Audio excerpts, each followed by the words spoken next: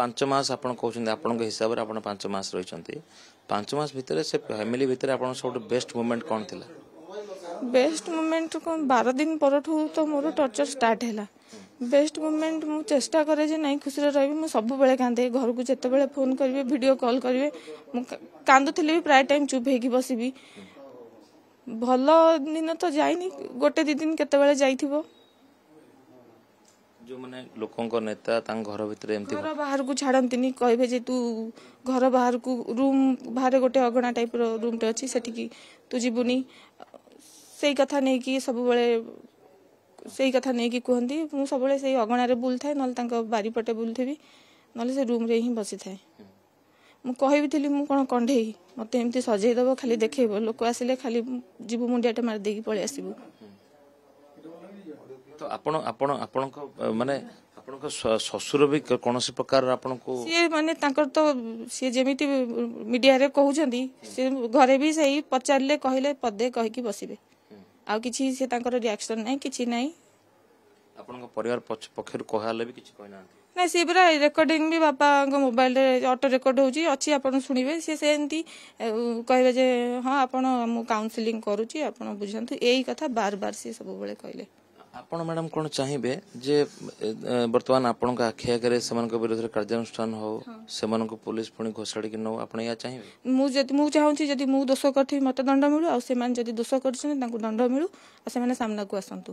ଆଉ ଯେତିକି- ଆପଣ ଯେତିକି ଅଭିଯୋଗ ଆଣିଛନ୍ତି ଏତେ ବଡ ହେଭିୱାର୍ଡ ନେତାଙ୍କ ବିରୋଧରେ ଆଣିଛନ୍ତି ପର- ଆଣିଛନ୍ତି ଏବଂ ପ୍ରଥମ ପଏଣ୍ଟ ମଧ୍ୟ ଆପଣ କ୍ଲିୟର କରିଛନ୍ତି ଯେ ଆପଣଙ୍କ ଜୀବନ ପ୍ରତି ବିପଦ ଅଛି।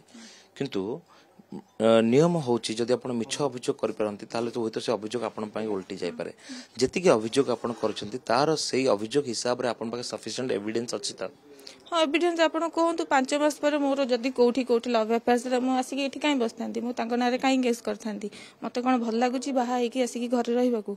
ଏଠି ଘର ଗାଁ ଲୋକ ସବୁ ସମସ୍ତେ ପଚାରୁଛନ୍ତି ମୁଁ ତା ପ୍ରଥମ ଯେତେବେଳେ ଆସିଥିଲି ମୁଁ ତ କାହାକୁ କିଛି କହିନଥିଲି ଯେ କୋଉଥିପାଇଁ ଆସିଥିଲି କ'ଣ କରିଥିଲି କିନ୍ତୁ ଏତେ ଜିନିଷ ହେଲା ପରେ ବାଧ୍ୟ ହେଇକି ସମସ୍ତେ ଜାଣିଲେ କହିଲି। ଏତେ ଟଙ୍କା ତାଙ୍କ ପାଖରେ ଅଛି ବ- ପୂର୍ବ ସାଂସଦ ପୂର୍ବରୁ ମନ୍ତ୍ରୀ ବର୍ତ୍ତମାନର ବିଧାୟକ ତାଙ୍କ ଫ୍ୟାମିଲି କଣ ଆପଣଙ୍କୁ ଏ ଟଙ୍କା ପାଇଁ କି ହିଁ କେବଳ ଟର୍ଚର କରୁଥିଲେ? ଲୋକ, ସେଇଭଳିଆ ଲୋକ ଯାହାର ଟଙ୍କା ସେ ମାନେ ସେ ପୁରା ଲୋକ ଯେତେବେଳେ ଆସିବେ ଘରକୁ ମିଠା ଖାଇବାକୁ ଦେବେ ମିଠା କୋଉ ମାସ ଉମ୍, ଦି ମାସର ମିଠା ଥୁଆ ହେଇଥିବ ଡ୍ରାଏ ଉମ୍, ଇଏ ବର୍ଫି ସେଗୁଡାକୁ ଆଣିବେ ତାଙ୍କ ନିଜ କାନିରେ ପୋଛିକି ଗୋଟେ ଦିଟା ଦେବେ ନଗଦ ମିଠା ଦେବେନି ସେ ଏଇଭଳିଆ ଲୋକ ସେମାନେ। ଆପଣଙ୍କୁ କଣ ଖାଇବା ପାଇଁ ସେମାନେ ଦଉନଥିଲେ? ଖାଇବାକୁ ବହୁତ ହଇରାଣ କରନ୍ତି। ଖାଇବାକୁ ବହୁତ ହଇରାଣ। ମୁଁ ସନ୍ଧ୍ୟାବେଳେ ଖାଇବି ବିସ୍କେଟ ଦିଟା ଦେବେ। ନହେଲେ ଦିନେ ବିସ୍କେଟ ଆଣିକି ରଖିଲି ସେ ଶାଶୁଙ୍କ ରୁମରେ ସବୁ ସେଟା ଭଣ୍ଡାର ଘର ଶା- ଶ୍ୱଶୁର କହିଲେ ସେଟା ଭଣ୍ଡାର ଘର ସେଇଠି କୁଆଡେ ଆପଣଙ୍କ ଘର କୁଆଡେ ତାଲା ପଡିଯାଏ ଆପଣ ଯେତେବେଳେ ଯିବେ? ନାଇଁ ଯିବେ ନାହିଁ ମୁଁ ଯେତେବେଳେ ରୁମରେ ମତେ ସେ ଗାଳି କରନ୍ତି ଯୋଉ ଟାଇମରେ କେହି ନଥିବେ ଯୋଉ ଓଳେଇବାକୁ ଆସନ୍ତି କି ଘରେ ଯୋଉମାନେ କାମ କରନ୍ତି ସମସ୍ତେ ଗଲା ପରେ ଚାବି ଦେଇ ଦିଅନ୍ତି ବାହାର ପଟୁ। ଦିନ ବେଳା ଟାଇମରେ ଗାଳି କରନ୍ତି ନହେଲେ ରାତି ବାରଟା ପରେ ରୁମରୁ ତାଙ୍କ ରୁମକୁ ଡାକିକି ଗାଳି କରନ୍ତି। ତାଙ୍କ ରୁମଟା ଭିତର ରୁମ ଥାଏ। ନାଇଁ କଣ ଏମିତି ଖାଇବା ପାଇଁ ଗୋଟେ ସ୍ପେସିଫିକ ଟାଇମ ଥାଏ? ସେଇ ଟାଇମରେ ନ ଖାଇଲେ କି ଆପଣଙ୍କ ଯଦି ଇଚ୍ଛା ହବ କିଛି ଜିନିଷ ଖାଇବା ପାଇଁ ଆପଣ ଖାଇପାରିବେ? ଖାଇପାରେନି। ଯଦି ବି କୋଉ ଗୋଟେ ଦିନ ଖାଇଦିଏ ସେ ମତେ କହିବେ ତୁ କଣ ଏକା ଖାଇଦବୁ? ଆମେ ଖାଇବୁନି। ମୁଁ କହେ "ଆପ- ସେମାନେ ତ ଖାଉନାହାନ୍ତି ମୁଁ ଯାହା ଖାଉଛି ସେମାନେ ଖାଇବେନି।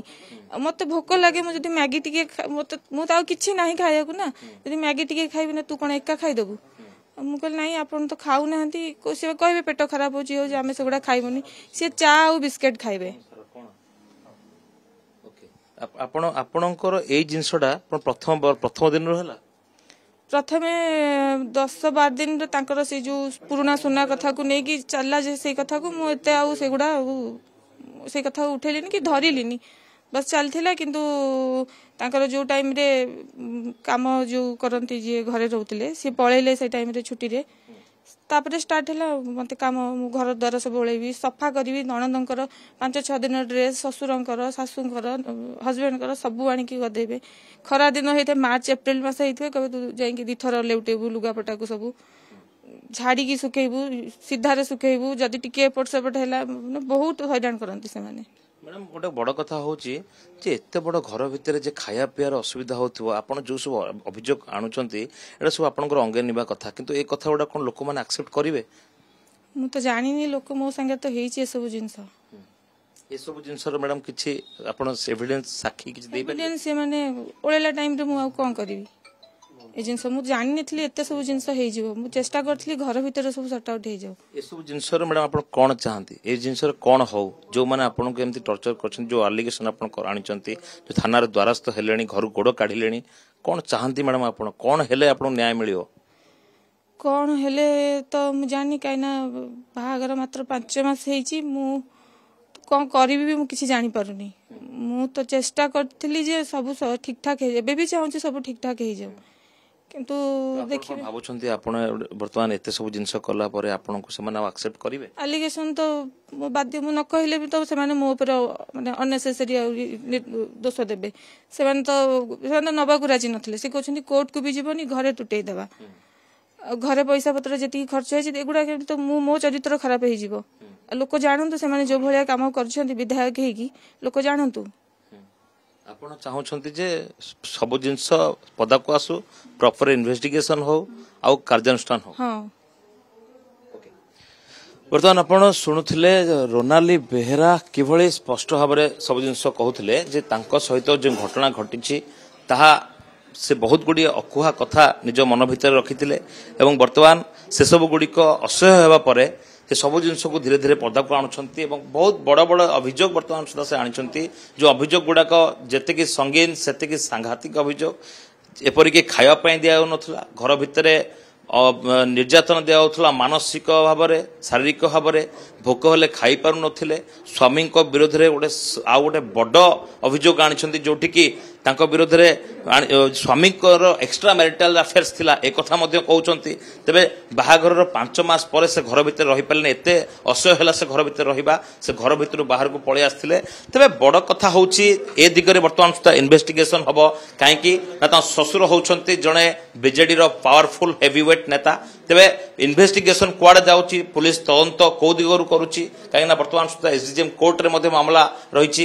ତେବେ ଏ ପୁରା ଘଟଣାକୁ ନେଇକି ବର୍ତ୍ତମାନ ସୁଦ୍ଧା ପୁଲିସ ତଦନ୍ତ କରିବ ଏବଂ ରୋନାଲି ଯିଏକି ବର୍ତ୍ତମାନ ସୁଦ୍ଧା ଘରୁ ପାଦ କାଢିଛନ୍ତି ପଦାକୁ ଏବଂ ଚାହିଁଛନ୍ତି ଯେ ତାଙ୍କୁ ମଧ୍ୟ ନ୍ୟାୟ ମିଳୁ ବୋଲି।